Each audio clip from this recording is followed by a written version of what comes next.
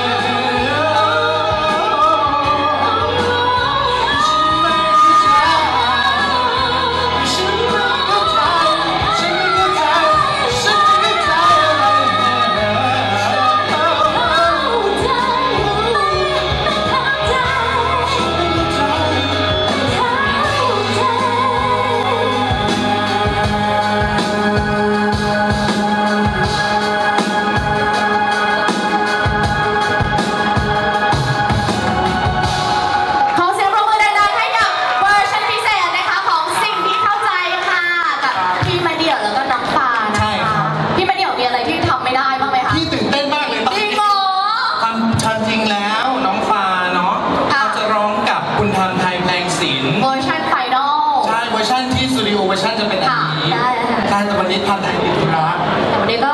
ก็เป็นโอกาสที่ดีที่เราได้ร้องด้วยกันเลยยังไม่เคยร้องด้วยกันเลยป่ะคะไม่เคยร้องด้วยกันเลยค่ะนี่ไม่เดียวครั้งแรคือโชว์ครั้งแรกของการร้องเพลงเต็มๆเลไหมคะ ทุกครั้งร้องแต่ในงานเลี้ยงในคาราโอเกะครับ และในห้องน้ใช่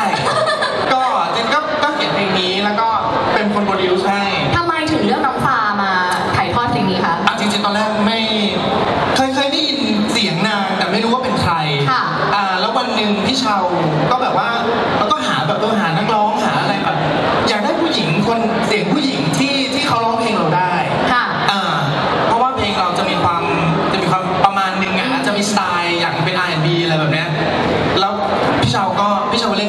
ครับ แกก็ให้คลิปน้องคนนี้มาแล้วก็เคยได้ยินเสียง แต่ตอนแรกก็